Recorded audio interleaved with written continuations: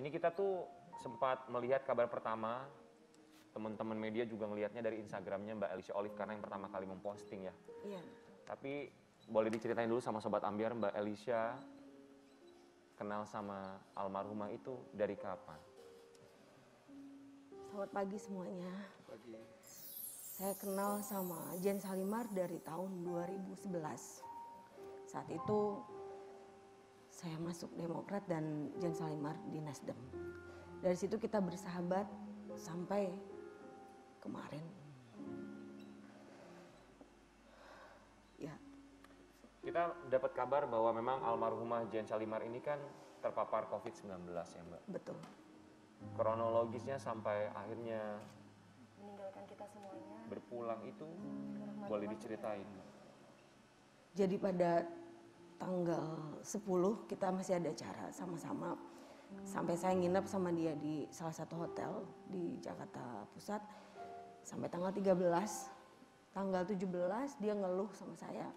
Batuk, hanya 17 batuk. Juni ya. 17 Juni batuk lalu meriang kata dia. Kenapa memang coba periksain. Tapi dia nanti dulu deh. Pada tanggal eh, 19 dia nggak kuat lagi. Akhirnya dia ke rumah sakit sendiri ke rumah sakit JMC. Selama tiga hari dia merasa eh, nggak dapat kamar kan. Akhirnya dia pulang. Dia dirawat tapi di IGD gitu kan.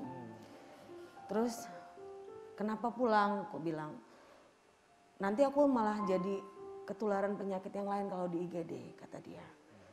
Akhirnya eh, tiga hari di rumah tanggal 29 anfal kehabisan oksigen dan saturasi sudah sampai 34 seperti itu kita cari-cari Itu keadaannya almarhumah itu udah sesek-sesek gitu kak. udah udah sesek dan pingsan ya Eh, apakah sudah Pingsan. pingsan Hmm, tanggal berapa itu kak? 29 malam 29.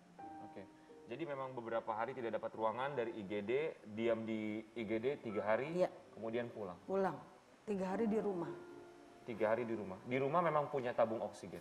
ada tapi kehabisan saat itu dan kita kesulitan dapat oksigen akhirnya ada salah satu rekan kita eh, Bang Haris pertama dari KNPI eh, kasih tabungnya ditolong terus tetap kurang kita cari di beberapa rumah sakit nggak dapat sudah tujuh rumah sakit selama tiga jam